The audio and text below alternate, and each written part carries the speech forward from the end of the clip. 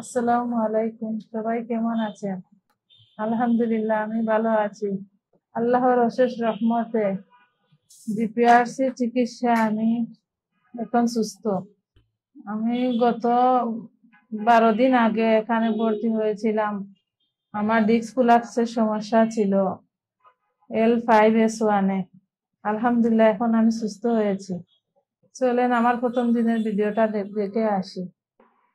আমার নাম ইমা বেগম, আমার বয়স পঁয়ত্রিশ। আমার বাড়ি সিলেট মৌলবাজার আমি হসপিটাল সাতশো দুই নাম্বার কেবিনে ভর্তি আছি।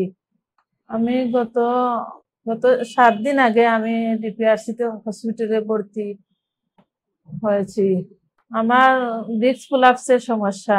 ব্যথাটা বেশি ছিল। কোমরের মধ্যে L four L five S one আমার প্রচণ্ড কোমর ব্যথা ছিল। ব্যথাটা কোমর থেকে বা পায়ের দিকে নামতো।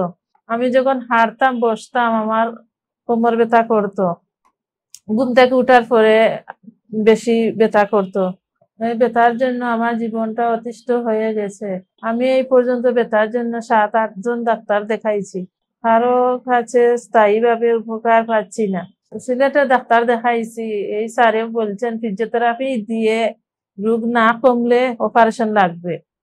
তাই আমি স্যারের ভিডিও দেখিয়ে এখানে আসছি।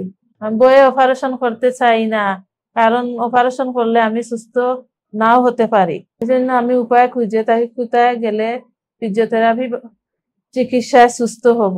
একদিন আমি ইউটিউবে শফিউল্লাহ স্যারের সন্ধান পাই। তারপর স্যারের সিরিয়াল নিয়ে স্যারদের দেখাই। স্যারদের দেখানোর পর স্যারে বলছেন অপারেশন ছাড়াই সুস্থ হওয়া যাবে। এটা শোনার পরে আমার মনে শান্তি পাই। স্যার চোদ্দ থেকে বিশ দিন, একুশ দিন পর্যন্ত বলছেন ভর্তি। দেখলেন তো আমার প্রথম দিনের ভিডিওতে কি কি সমস্যা ছিল। আলহামদুলিল্লাহ আল- আল্লাহর অশেষ রহমতে আমার এখন এই সমস্যাগুলো নাই। আমার এখন কোমরের দিক থেকে, পায়ের দিকে ব্যথাটা নাই। আমি এখন স্বাভাবিকভাবে হাঁটতে পারি এবং সব কাজ করতে পারব আশা করি।